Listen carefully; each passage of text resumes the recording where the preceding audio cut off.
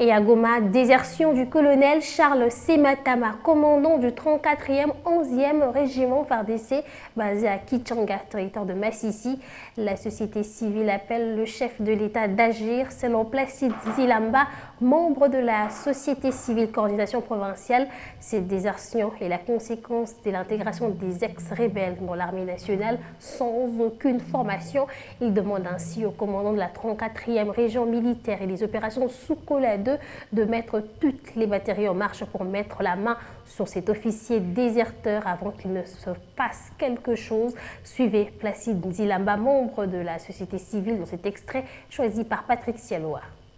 Depuis Bellirette, la société civile était en train de demander au gouvernement qu'il ne faudrait plus intégrer au sein des forces armées euh, des personnes ou des combattants qui viennent des groupes armés. Parce qu'on euh, on fait maintenant le cercle, le cercle vicieux. On vient chez FRDC, on quitte, on revient chez groupe armé. Donc c'est devenu des navettes entre FRDC et, et les armés. Et parfois, ils partent avec même les moyens de l'État. Et c'est ça le plus grand problème. Et c'est pourquoi nous avons des craintes. Parce que quand ils quittent euh, les FRDC, ils ne vont pas à l'église. Hein. Ils vont aussi créer d'autres groupes armés ou ravitailler leurs anciens groupes armés dans lesquels ils sont provenus. C'est pourquoi nous nous sommes en train de demander au président de la République qu'il nous avait donné le ferme engagement de pouvoir éradiquer tous ces groupes armés.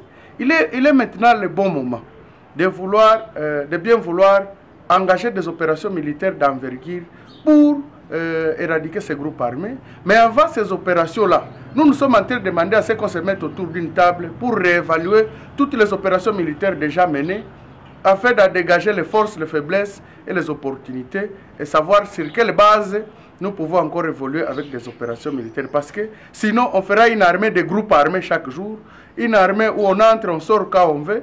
C'est demander au commandant région et au commandant des opérations militaires Sokolade à bien vouloir rattraper cet officier avant qu'il ne, ne nuise à la sécurité collective partout où il ira.